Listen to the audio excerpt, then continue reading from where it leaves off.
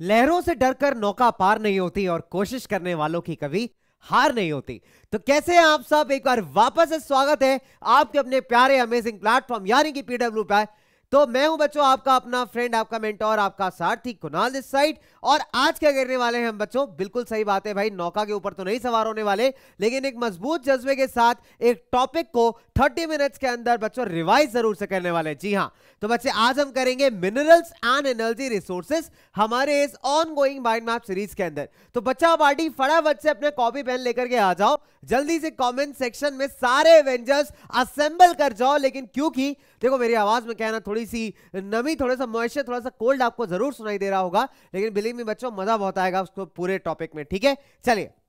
तो आपका समय जो है वो बहुत कीमती है और इस कीमती समय की बिल्कुल प्रॉपर तरीके से रिस्पेक्ट करते हुए शुरू करते हैं भाई हमारा आज का topic that is minerals and energy resources ठीक है? चलिए तो क्या क्या कवर करने वाले बच्चों हम लोग? पहले नंबर पे मिनरल्स और उनके classification metallic non metallic minerals conventional energy resources और नॉन कन्वेंशनल एनर्जी रिसोर्सेस ठीक है?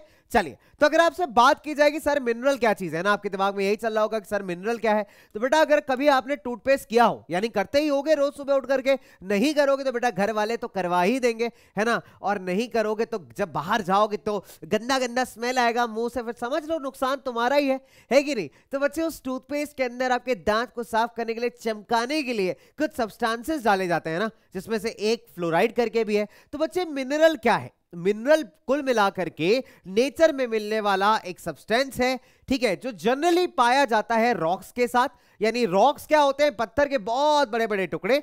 ठीक है अलग अलग प्रॉपर्टी होती है जिनकी, और इन मिनरल्स का यूटिलाइजेशन करके हम बहुत सारे काम करते हैं, ठीक है? और सिंपल सरल, संस्कारी भाषा में अगर डिफाइन किया जाए तो मिनरल क्या है बेटा? Mineral it's defined as homogeneous naturally occurring substance यानी एक नेचुरल नेचर में प्राकृतिक रूप से आकर करने वाली कोई भी ऐसी चीज़, जिसका एक डेफिनेट इंटरनल स्ट्रक्चर है।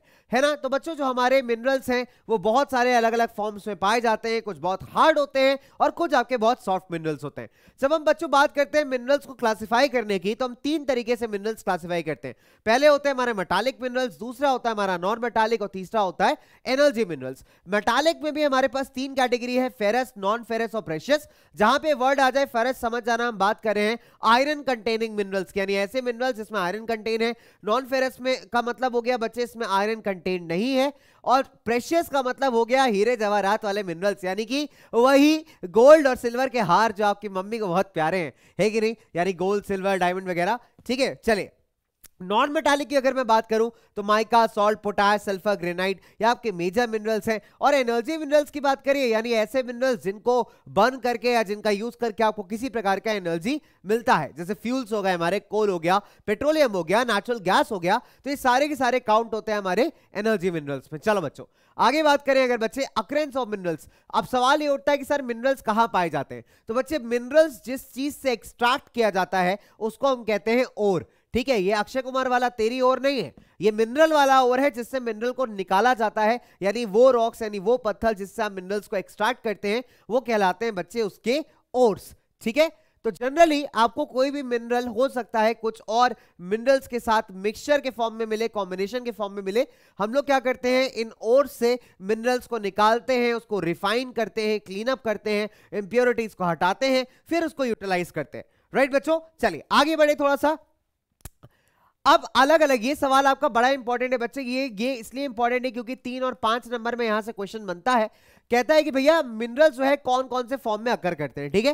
तो अगर आप इग्नियस और मेटामॉर्फिक रॉक्स की बात करेंगे तो इनके जो क्रैक्स होते हैं, यानी इन इन रॉक्स के अंदर, इन बड़े बड़े पत्थरों के अंदर जो बीच में क्रैक्स पड़े होते हैं स्मॉल गैप्स होते हैं ओपनिंग्स होते हैं, उसमें आपको यहाँ पे मिनरल्स मिल जाते हैं, ठीक है? अगर स्मॉलर क्वांटिटीज में मिलते हैं बच्चों, हम लोग इसको वेन्स कहते हैं, और लार्जर में मिलते हैं तो उसको हम लोड्स कहते हैं। ये भी अगेन वन मार्क्स में आता है कि what are veins and lodes ठीक है?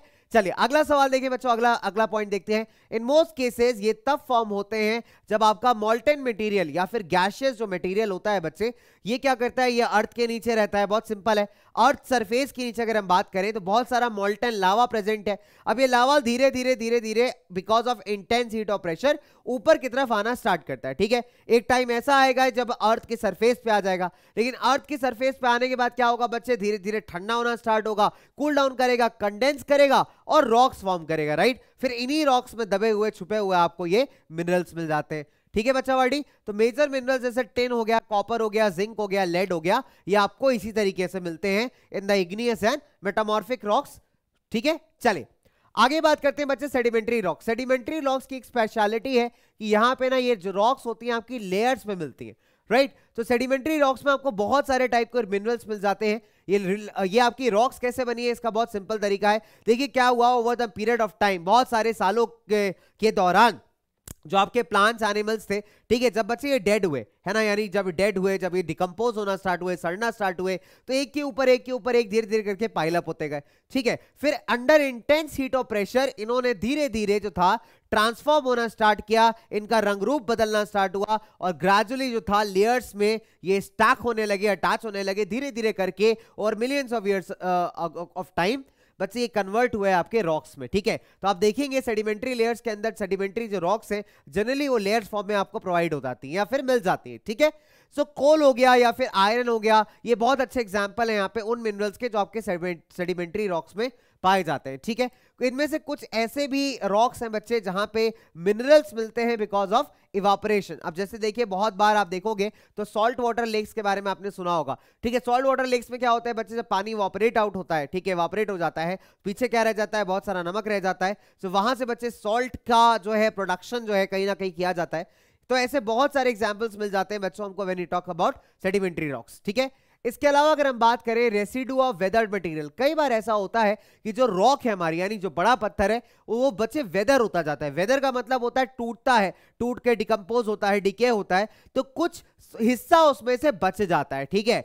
तो उस हिस्से से भी कई बार हमको मिनरल मिल जाते हैं, ठीक है? मिनरल अवेलेबल हो जाते हैं। बॉक्साइड इसका एक बहुत अच्छा एग्ज़ाम्पल है, जो कि एक वेदर्ड रॉक से बॉक्साइड को निकाला जाता है, और बॉक्साइड से क्या निकलता है अपने पास? एल्यूमिनियम ठीक है? चलिए आगे बात करें बच्चों तो कुछ मिनरल्स ऐसे भी हैं जो कि अलूवियल एरियाज़ अलूवियल सॉइल वाले एरियाज़ में आपको मिलेंगे, ठीक है? खासकर जैसे कि आपके हिल्स हो गए, उनके बेस पे, या फिर वैली हो गई, उसके सतहों पे, उसके फ्लोर्स पे तो ऐसे डिपॉजिट्स को हम प्लेसर डिपॉजिट्स कहते हैं। अगेन वन मार्क्स में क्वेश्चन आता है कि प्लेसर डिपॉजिट्स क्या होते हैं?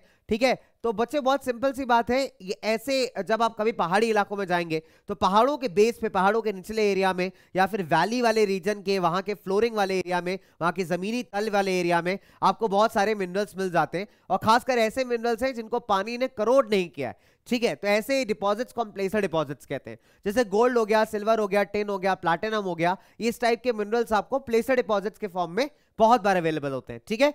आगे बात करूँ अगर बच्चों में ocean is a store house of minerals right ये बात बिल्कुल सच्चाई है कि बच्चे ओशन के अंदर बहुत सारे मिनरल्स मिलते हैं हमको। लेकिन प्रॉब्लम ये है कि ओशन से मिनरल निकालना अपने आप में कई बार काफ़ी एक्सपेंसिव भी हो जाता है और कई बार इतना इजी भी नहीं होता। हालाँकि एक बहुत अच्छा एग्ज़ाम्पल है हमारा मैंगनीज न्यूडल्स नोड्यूल्स तो आपने ये भी पढ़ा था चैप्टर वन में रिसोर्सेज में कि भारतीय भारत के पास एक्सक्लूसिव अधिकार है इंडियन ओशन से मैंगनीज नोड्यूल्स को माइन करने का इट चले तो ऐसे बहुत सारे ऐसे मिनरल्स हैं बच्चे जो हमको कहाँ से मिलते हैं? ओशन से मिलते हैं।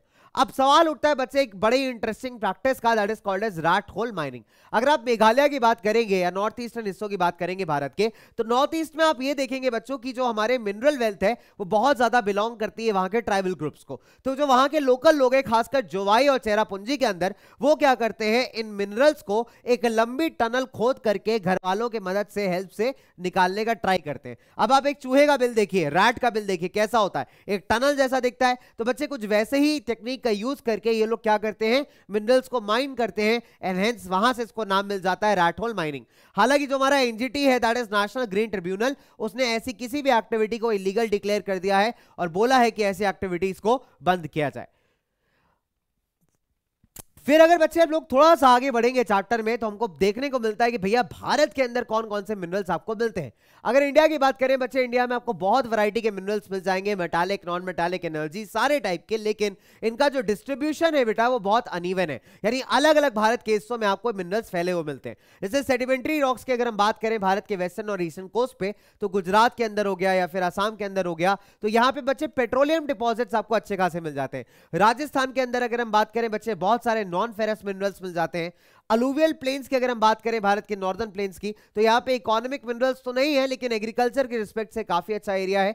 ठीक है? तो इसी तरीके से बच्चों, भारत के अलग अलग पार्ट्स में आपको अलग अलग मिनरल्स मिल जाते हैं और इन मिनरल्स के साथ साथ बच्चों, लेकिन जिसका जो डिस्ट्रीब्यूशन है कि कहाँ पे कितना अवेलेबल है, ये काफ़ी डिफर करता है। एक छोटा सा एडिशनल पार्ट आपको मैं यहाँ पे दे रहा हूँ बच्चे दैट इज़ मेटालिक और नॉन मेटालिक मिनरल्स देखिए मेटालिक मिनरल्स बहुत सिंपल सी बात है, नाम में ही मेटल छुपा है तो आपको समझ जाना चाहिए कि इनके अंदर मेटल होता है रॉ फॉर्म में और नॉन मेटालिक में नहीं होता। ठीक है? जनरली बच्चे जो मेटालिक मिनरल्स हैं, वो आपको इग्नियस रॉक्स में मिलते हैं और नॉन मेटालिक की अगर हम बात करेंगे तो जनरली मिलते हैं सेडिमेंट्री रॉक्स में। मेटालिक मिनरल्स जनरली हार्ड होते हैं और इनका खुद का एक शाइन होता है। Non metallic minerals generally hard नहीं होते और इनका खुद का कोई शाइन नहीं होता। एग्ज़ाम्पल आयरन कॉपर यहाँ पे एग्ज़ाम्पल कोल और माइका के आप दे सकते हैं। ठीक है तो एक छोटा सा प्यारा सा डिफरेंस था between metallic and non metallic आगे बात करें बच्चे, चलिए। अगर हम बात करते हैं यहाँ पे फेरस मिनरल्स की तो फेरस मिनरल्स क्या है? फेरस मिनरल्स का सिंपल मतलब है दैट कंटेन्स आयरन ठीक है तो ऐसे मिनरल्स जिनमें आयरन कंटेंट प्रेजेंट होता है, वो कहलाते हैं आपके फेरस मिनरल्स ठीक है चलिए, अगर फेरस मिनरल्स की बात करें तो सबसे पहली बात करेंगे आयरन ओर की। तीन वैरायटी ऑफ़ आयरन ओर आपको यहाँ पे मिल जाता है। पहला हेमेटाइट जो कि सबसे best quality of iron ore माना जाता है। उसका रीजन क्यों है? क्योंकि यहाँ पे मिल जाता है आपको बच्चों, ठीक है one of the best quality of iron ore क्योंकि यहाँ पे मिल जाता है आपको 60 टू 70 परसेंट प्योर आयरन कहाँ पे मिलेगा ऐसा और आपको? उड़ीसा, झारखंड, छत्तीसगढ़, कर्नाटका और महाराष्ट्र, ठीक है? मैग्नेटाइट की अगर हम बात करें मैग्नेटाइट को आप ब्लैक ओर के नाम से भी जान सकते हैं, ठीक है? बच्चे मैग्नेटाइट हेमेटाइट को हम कहेंगे रेड और और मैग्नेटाइट को हम कहेंगे यहाँ पे ब्लैक और अब मैग्नेटाइट नाम क्यों पड़ा? उसके पीछे का रीजन है इसकी मैग्नेटिक प्रॉपर्टीज़ ठीक है? तो मैग्नेटाइट जो है बच्चे best quality of iron ore है, जिसमें सत्तर प्रतिशत से ज़्यादा आपको आयरन मिल जाता है राइट इसके पास मैग्नेटिक प्रॉपर्टी है बच्चों हेंस इसका नाम मैग्नेटाइट भी है।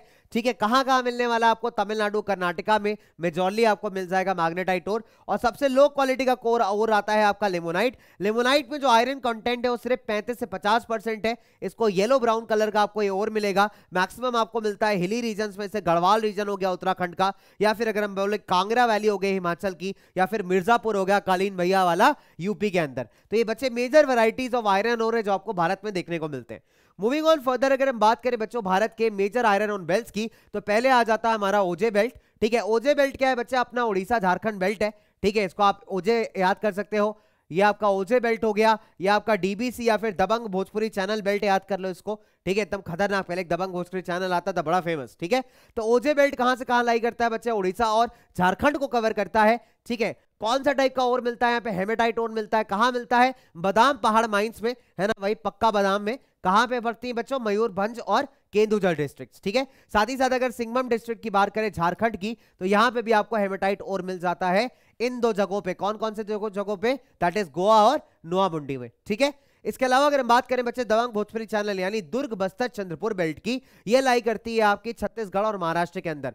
ठीक है, यानी दबंग भोजपुरी चैनल के ओनर कौन है? सीएम साहब। सीएम साहब मतलब छत्तीसगढ़ और महाराष्ट्र। ठीक है? चलिए, अब यहाँ पे हाई क्वालिटी का आपको हेमेटाइट और मिल जाता है। कहाँ पे बच्चे? बेलाडेला हिल्स के अंदर, जो कि बस्तर डिस्ट्रिक्ट में पाया जाता है छत्तीसगढ़ के। ठीक है, यहाँ पे चौदह डिपॉजिट्स हैं आपके super high grade quality of iron ore के। इनका फ़िज़िकल प्रॉपर्टीज़ बहुत बढ़िया है specially with respect to steel making ठीक है? इनफैक्ट अगर हम बात करें इनके जो हमारा चंद्रपुर बेल्ट है, यहाँ से आयरन ओर को एक्सपोर्ट भी किया जाता है जापान और South Korea through Visakhapatnam port, ठीक है? बच्चों तो ये भी आपका एक वन नंबर का क्वेश्चन बढ़िया तरीके से बन जाता है कि आयरन ओर को इन माइन से कहाँ एक्सपोर्ट किया जाता है? कहाँ का एक्सपोर्ट किया जाता है बेटा? जापान और साउथ कोरिया, ठीक है? और कौन से पोर्ट के थ्रू बाय विशाखापट्टनम पोर्ट।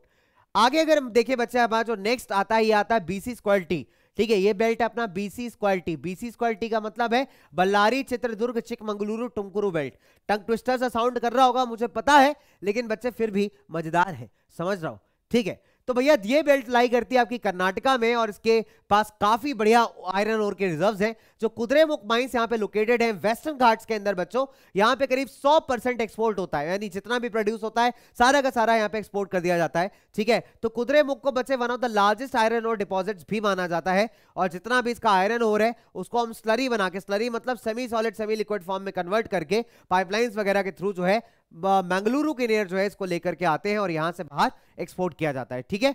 इसके बाद अगर हम बात करें एमजी बेल्ट एमजी बेल्ट है आपके महाराष्ट्र गोवा बेल्ट इसमें आ जाता है आपका स्टेट ऑफ़ गोवा और रत्नागिरी डिस्ट्रिक्ट ऑफ़ महाराष्ट्र। हालाँकि यहाँ पे जो आर एन और अवेलेबल है, बहुत हाई क्वालिटी का तो नहीं है, लेकिन फिर भी अगर हम बात करें, इसको बड़े अच्छे तरीके से मारमागांव पोर्ट के द्वारा जो है ट्रांसपोर्ट कर दिया जाता है, यानी कि एक्सपोर्ट कर दिया जाता है, ठीक है? चलो। तो आगे बात करते हैं, बच्चे मैंगनीज की। मैंगनीज का जो प्रोडक्शन है मैंगनीज का यूजेज है, वो स्टील बनाने के लिए और फेरो मैंगनीज अलॉय बनाने के लिए यूज़ किया जाता है। अगर हम बात करें करीब 10 किलो मैंगनीज की ज़रूरत आपको पड़ेगी अगर आपको वन टन स्टील बनाना है राइट तो 10 KG of manganese will be required to produce one ton of steel इसके अलावा मैंगनीज का यूजेज कहाँ किया जाता है? मैन्युफैक्चर करने में आपके इंसेक्टिसाइड्स हो गए पेंट्स हो गए ब्लीचिंग पाउडर हो गए। तो इन सारी चीज़ों को बनाने के लिए किसका यूटिलाइजेशन करते हैं बच्चों हम लोग? मैंगनीज का। ठीक है? चलिए। फिर आ जाते हैं बच्चे हमारे पास non ferrous minerals non ferrous का मतलब है नॉन आयरन नॉन आयरन मतलब जिसमें आयरन कंटेंट आपको अवेलेबल नहीं होता, लेकिन फिर भी ये काफ़ी इंपॉर्टेंट मिनरल्स हैं. जैसे लेड हो गया जिंक हो गया कॉपर हो गया बॉक्साइट हो गया. तो एक एक करके जो मोस्ट इंपॉर्टेंट है, उसके हम लोग यहाँ पे यूजेस पढ़ेंगे। स्टार्ट करते हैं हमारे कॉपर से। बच्चे कॉपर का एक एडवांटेज है कि बच्चे हीट एंड इलेक्ट्रिसिटी का अच्छा कंडक्टर है। साथ ही साथ इसको शीट्स में भी आप बीट कर सकते हैं और इसके वायर यानी तार भी बना सकते हैं। इसलिए इलेक्ट्रिकल इंडस्ट्री में इसका यूजेज बहुत ज़्यादा बढ़ जाता है। इसके अलावा अगर हम बात करें जो बालाघाट माइंस है एमपी के अंदर, या फिर खेतरी माइंस है राजस्थान की, और सिंघभम डिस्ट्रिक्ट आपका झारखंड का, ये लीडिंग प्रोड्यूसर्स हैं आपके कॉपर के। तो कॉपर अच्छा है बच्चे आपसे तीन नंबर में कॉपर का प्रॉपर्टीज़ और उसके प्रोड्यूसर्स या डिस्ट्रीब्यूशन भी पूछ सकता है।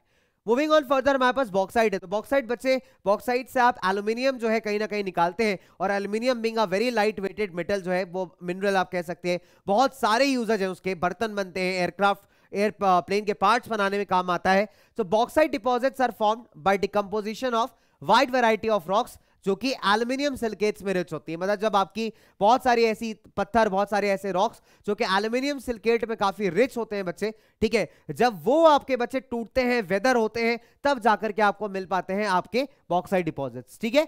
तो एल्यूमिनियम ऑप्टेन किया जाता है बॉक्साइड से। अगर आपसे ये पूछ ले कि भाई एल्यूमिनियम का और क्या है तो bauxite is the ore of aluminium aluminium के पास बच्चे अच्छा कंडक्टिविटी है ग्रेट मैलिबिलिटी अगेन मैंने सेम चीज़ कही कि इसके आप तार बना सकते हो, तार के साथ इसके आप शीट्स भी ड्रॉ कर सकते हो राइट तो मेजर डिपॉजिट्स कहाँ आपको मिलते हैं बेटा? अमरकंटक प्लाट्यू में मैकल हिल्स में, या फिर अगर हम बात करें बिलासपुर, कटनी वाले रीजन के अंदर। ठीक है तो ये आपके मेजर बॉक्साइड डिपॉजिट्स हैं इंपॉर्टेंट है। कई बार इससे रिगार्डिंग क्वेश्चन आता है explain the properties and distribution of aluminium ठीक है? चलिए, आगे बात करते हैं बच्चों। नाउ अगर आप बॉक्साइड की डिस्ट्रीब्यूशन की बात करेंगे तो ये मेजर स्टेट्स में अगर हम देखें तो 65 परसेंट जो है भाई आपका उड़ीसा प्रोड्यूस करता है 10 परसेंट झारखंड प्रोड्यूस करता है 9 परसेंट आपका गुजरात प्रोड्यूस करता है 6 परसेंट छत्तीसगढ़, महाराष्ट्र 6 परसेंट और आपका एमपी 3 परसेंट तो मेजर प्रोड्यूसर्स है और सबसे मेजर की अगर हम बात करें तो Orissa is the leading producer then we have बच्चों the non metallic minerals like mica ठीक है माइका का स्पेशलिटी ये है बच्चे, माइका श्योर शॉर्ट तीन नंबर का क्वेश्चन है जो एग्ज़ाम्स में बहुत बार पूछा गया है, ठीक है? तो माइका की अगर हम बात करें, माइका को आप थिन शीट्स पतली शीट्स में जो है, यहाँ पे लेयर कर सकते हैं। इसके अलावा मतलब मान के चलिए इतना पतला होता है माइका का शीट कि बहुत सारे शीट को अगर एक साथ आप स्टार्ट कर दो तो कुछ सेंटीमीटर या मिलीमीटर का हाइट ही जो है आप खड़ा कर पाओगे। यानी इतना बहुत सारे थाउजेंड्स ऑफ़ शीट्स मतलब बहुत सारे शीट्स को आप स्टार्ट कर दोगे तो सिर्फ़ इतनी मोटाई आपको मिलेगी टोटल ठीक है? फिर अगर हम बात करें, माइका जो है आपका क्लियर हो सकता है ब्लैक कलर हो सकता है ग्रीन हो सकता है रेड हो सकता है येलो हो सकता है या फिर ब्राउन हो सकता है। अब इसकी इतनी बढ़िया डाइलेक्ट्रिक स्ट्रेंथ है लो पावर लॉस फैक्टर है है ना? एक्सीलेंट इंसुलेटिंग प्रॉपर्टीज़ है, जिसके चलते बच्चों की माइका जो है एक one of the most important mineral है with respect to electronic industries then अगर हम बात करें बच्चे माइका के डिस्ट्रीब्यूशन की तो माइका आपको मेजरली मिलता है छोटा नागपुर वाले प्लाटियो वाले रीजन में।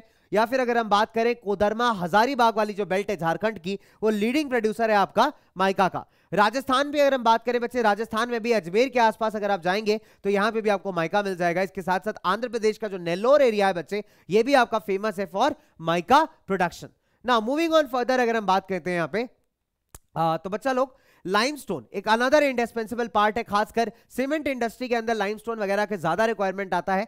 ठीक है, खासकर ऐसे रॉक्स में बनता है जहाँ पे आपका कैल्शियम कार्बोनेट प्रेजेंट है, ठीक है कैल्शियम कार्बोनेट प्रेजेंट है या फिर मैग्नीशियम कार्बोनेट प्रेजेंट है तो वहाँ पे आपको बच्चे लाइमस्टोन देखने को मिलता है। लाइमस्टोन एक बेसिक रॉ मटेरियल आपके सीमेंट इंडस्ट्री के लिए राइट साथ ही साथ अगर हम बात करें लाइमस्टोन के प्रोडक्शन की तो आप देखोगे जो लार्जेस्ट प्रोडक्शन है, वो आपका आ रहा है राजस्थान से that is 20 percent followed by MP और आंध्र प्रदेश आज 13 परसेंट तो आपको बच्चे एनसीआरटी का ही चार्ट है, ठीक है तो लीडिंग प्रोड्यूसर्स में आप इसको कंसिडर कर सकते हैं। आगे बात करते हैं बच्चों ठीक है let's move on further let's talk about the hazards of mining कि माइनिंग के बच्चों क्या क्या हजार्ड्स होते हैं, ठीक है क्या क्या प्रॉब्लम्स होती हैं?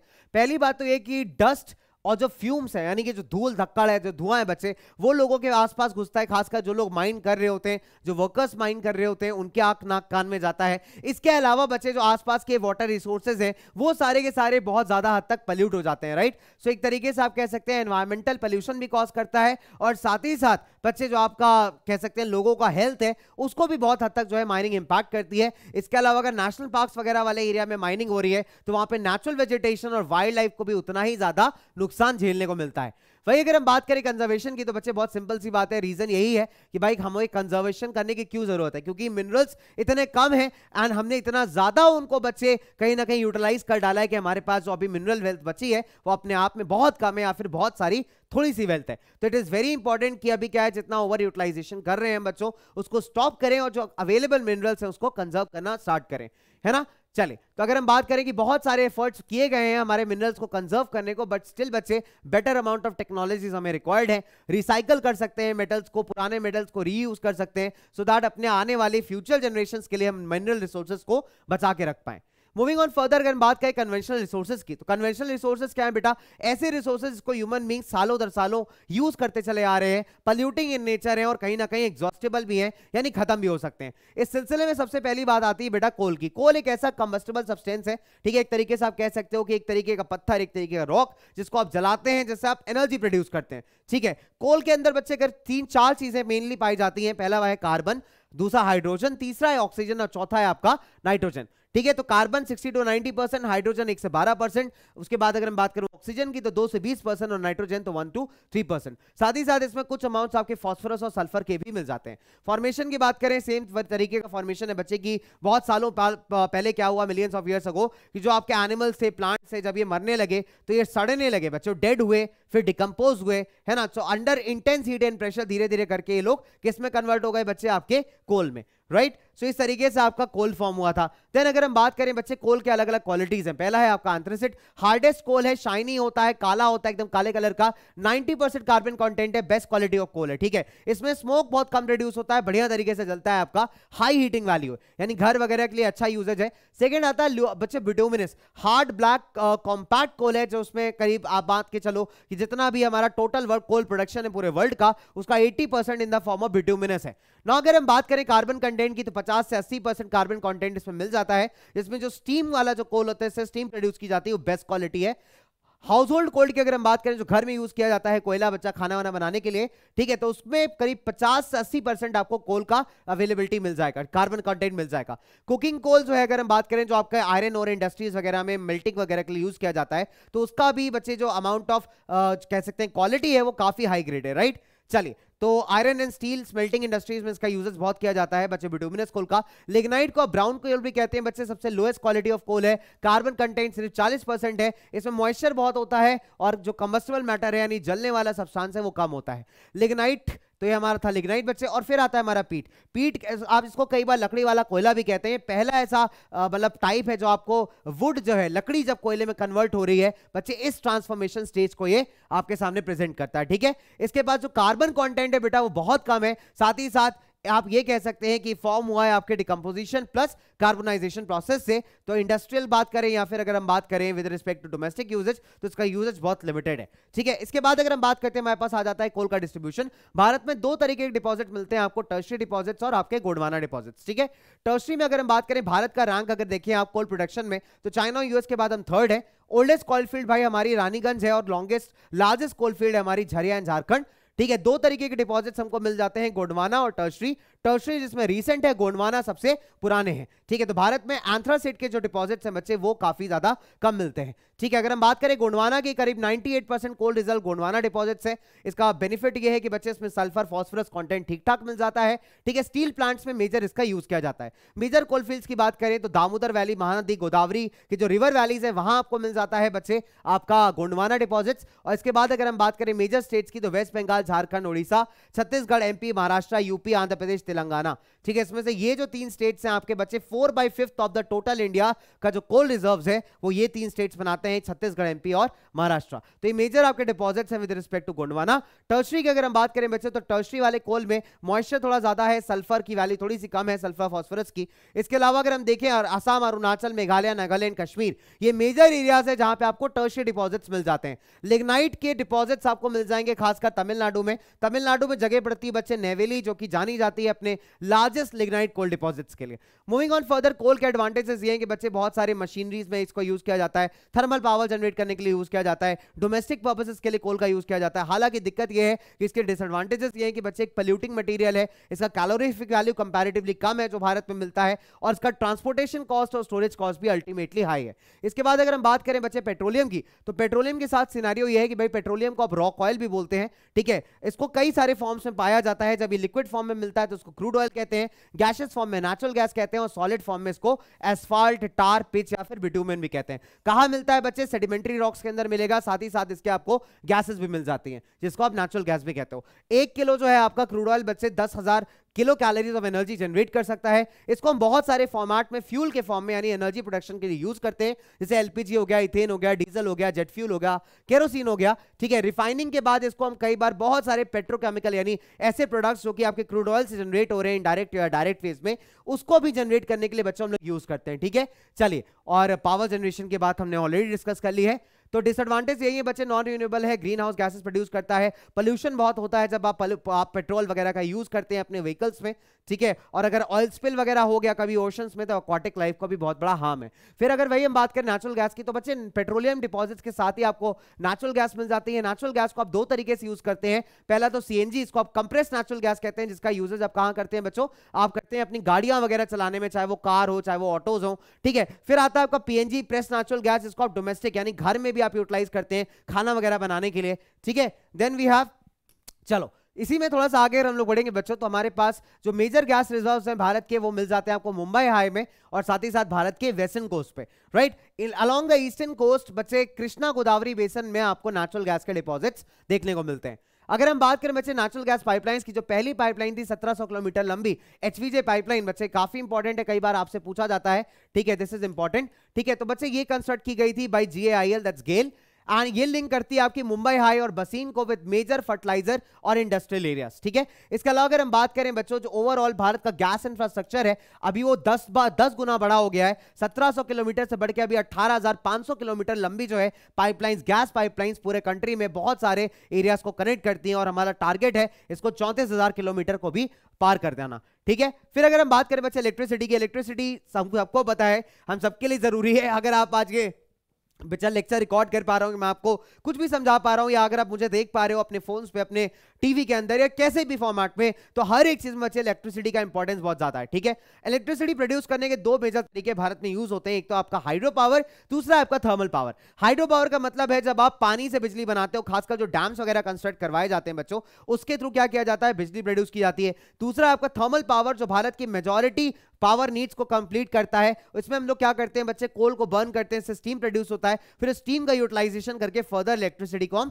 प्रोड्यूस करते हैं राइट चलिए तो भारत का 22 प्रतिशत जो हिस्सा है बच्चे इलेक्ट्रिसिटी का, वो फुलफिल करता है आपका हाइड्रो पावर अब हम बात करते हैं बच्चे नॉन कन्वेंशनल सोर्सेज की, यानी कि वो सोर्सेज जिसका यूटिलाइजेशन हम अभी नहीं कर रहे हैं, ये ऑल्टरनेटिव सोर्सेज है रिन्यूएबल इन नेचर है, ठीक है, और जिसका यूज़ करके हम बहुत सारा एनवायरमेंट को कंजर्व कर सकते हैं. फॉर एग्ज़ाम्पल हम बात करें सोलर एनर्जी की तो भारत में बच्चे सोलर एनर्जी बहुत अच्छे तरीके से अवेलेबल है, क्योंकि India lies in tropical and sub tropical region फिर फोटोवोल्टिक टेक्नोलॉजी क्या करता है बच्चे? फ़ोटो जो आपके सोलर सेल्स होते हैं डायरेक्टली सोलर पावर को इलेक्ट्रिसिटी में कन्वर्ट कर देते हैं। बहुत सारे बड़े बड़े सोलर पावर प्लांट्स आपको भारत में मिल जाएँगे। खासकर अगर बात करें बच्चे कर्नाटक वाले रीजन में शक्ति स्थल इसका एक बहुत अच्छा एग्ज़ाम्पल है। तो सोलर पावर का यूटिलाइजेशन अभी हम लोग मल्टीपल चीज़ों के लिए कर रहे हैं। देन अगर हम बात करें बच्चे न्यूक्लियर पावर की न्यूक्लियर पावर में क्या करते हैं? जब किसी भी पर्टिकुलर मिनरल के एटॉमिक स्ट्रक्चर में ऑल्टर करते हैं, उसमें चेंजेस करते हैं, ठीक है, या तो उसको ब्रेक करें, उसका फिजन करें तो जो भी अमाउंट ऑफ़ एनर्जी रिलीज़ होती है, उतनी लार्ज होती है कि उसका यूटिलाइजेशन करके आप पावर जनरेट कर सकते हो। That is basically nuclear power अब जैसे यूरेनियम एंड थोरियम जो कि हमारे रेडियो एक्टिव एलिमेंट्स हैं। ठीक है, ये आपको मिल जाते हैं झारखंड या फिर अरावली रीजन ऑफ़ राजस्थान में, अरावली की पहाड़ियों के आसपास। तो मोनोजिट सैंड ऑफ़ केरला बच्चे, ये भी काफ़ी रेट्स हैं आपके तोरेन डिपॉजिट्स में।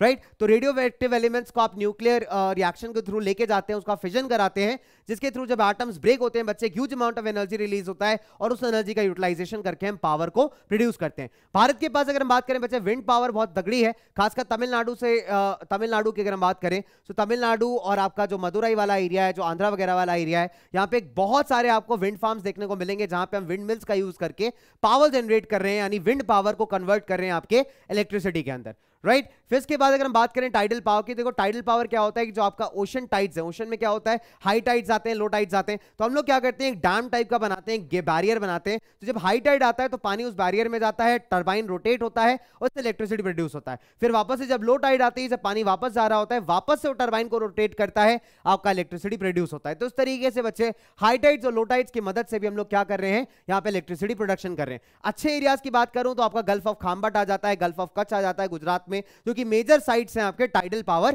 प्रोडक्शन की। फिर अगर मैं बात करूँ जियोथर्मल एनर्जी तो बच्चे जियोथर्मल कुछ नहीं है। अर्थ के अंदर जो हीट ट्रैप्ड है, कई बार वो हीट जो है आपके रॉक्स तक आ जाती है in the form of steam और उस स्टीम का यूज़ करके हम लोग क्या करते हैं बच्चे इलेक्ट्रिसिटी का प्रोडक्शन करते हैं। तो ये कहलाता है आपका जियोथर्मल पावर फिर वही अगर हम बात करें, जो मेजर मेजर जियोथर्मल पावर के प्रोजेक्ट्स हैं भारत के अंदर, एक तो आपका मणिकरण, यानी कासोल से आगे जब आप पार्वती वैली जाएँगे तो मणिकरण गुरुद्वारा पड़ता है। उसी के पास में अगर हम बात करें बच्चे, हिमाचल प्रदेश में, पहला जियोथर्मल पावर प्रोजेक्ट की अगर हम बात करते हैं। एक्सपेरिमेंटल प्रोजेक्ट लगाया गया है और दूसरा इंपॉर्टेंट है आपका पूगा वैली लद्दाख के अंदर। तो ये दोनों एक्सपेरिमेंटल प्रोजेक्ट्स हैं जिसके थ्रू हम जियोथर्मल एनर्जी को हार्नेस कर रहे हैं। फिर अगर हम बायोगैस की बात करें तो बच्चे बायोगैस बहुत सिंपल है। यानी जितना भी एनिमल वेस्ट होता है ह्यूमन वेस्ट होता है, उन सबको एक साथ, एक जगह पे लाके, एक प्लांट में जाके हम डिकम्पोज करते हैं डिके करते हैं। फिर उससे जो गैस प्रोड्यूस होती है, उसका मल्टीपल यूज़ किया जा सकता है। अब इस बायोगैस के बच्चे दो बड़े इंपॉर्टेंट बेनिफिट्स हैं। पहली बात तो आपको एकदम क्लीन फ्यूल मिल जाता है लेस पोल्यूटिंग मिल जाता है। और दूसरी चीज़, जो भी वेस्ट मटेरियल जनरेट होता है, उसको आप खाद में, यानी मैन्योर के फॉर्म में एग्रीकल्चर एरियाज़ में